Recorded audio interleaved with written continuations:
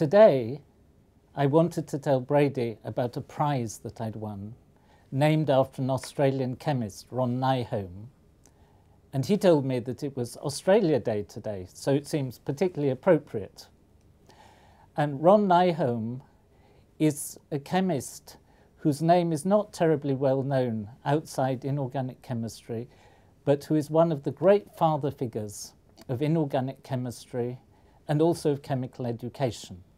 And the Royal Society of Chemistry has a medal in his name.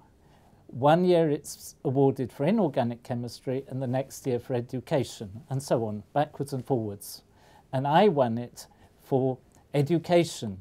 So here's the medal, and you can see there's a picture of Ron Nyholm, and there's quite an impressive crest on the back of the Royal Society of Chemistry.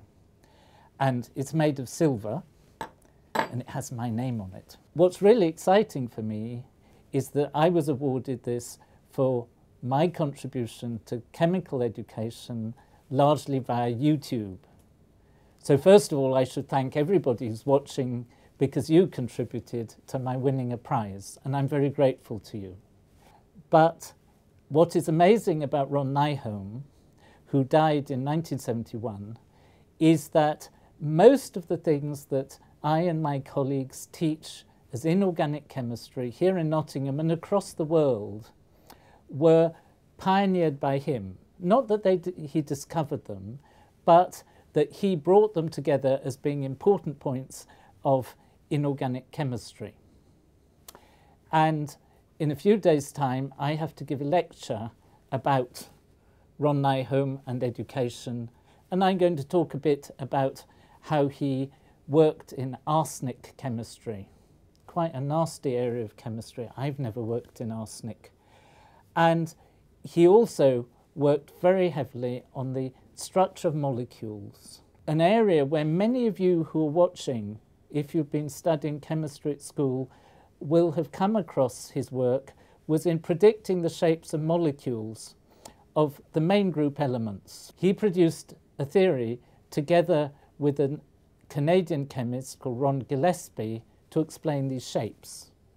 When I was a student, it was called the Nyholm-Gillespie theory.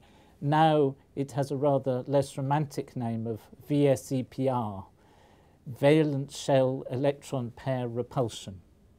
But the idea is that you count up the number of electrons or pairs of electrons in a molecule and the number of pairs of electrons determines the shape of the molecule.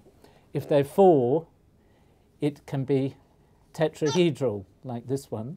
And, or if there's six of them, you have an octahedral molecule.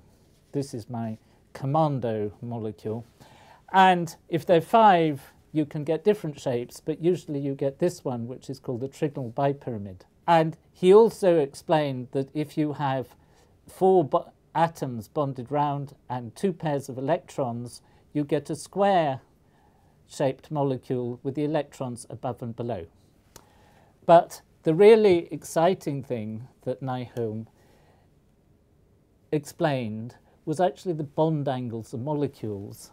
And he explained that in a molecule like this one, this is sulfur tetrafluoride, four fluorines and a sulfur in the middle, yellow for sulfur. He explained that in this molecule, why these two here were pushed backwards by the presence of a pair of electrons here. It's quite funny, because of him, this molecule, SF4, which is really quite an obscure molecule, has become really famous in structural inorganic chemistry. Ron Nyholm, if you read his obituary, was meant to be a fantastically warm character. Whenever he went into a room, he, the conversation all lit up and he was really a great enthusiast. And one of the big disappointments of my life was that I never met him. And I very nearly met him. I was at a party in Cambridge in 1971 in December when he was due to arrive. But en route to Cambridge, he had a terrible car crash. He drove into the back of another vehicle and was killed. And it was a real tragedy because he was only 54. Probably much of his best work was ahead of him but he died. And I think it is a tribute to the excellence of his work that more than 40 years after this car crash, he's still remembered every year with one of the most prestigious medals of the Royal Society of Chemistry. I think it's really good for us today on Australia Day to think about the memory of Ron Nyholm, who really made inorganic chemistry the exciting subject that it is today.